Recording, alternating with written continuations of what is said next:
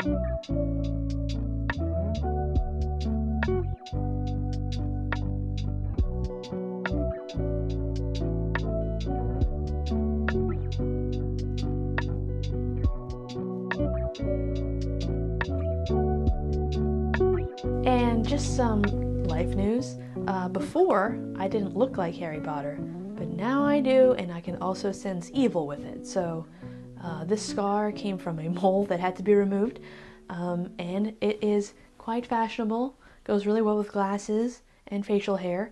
Uh, I would not recommend it though. Uh, try to take care of yourself if you see a mole that you think is suspicious.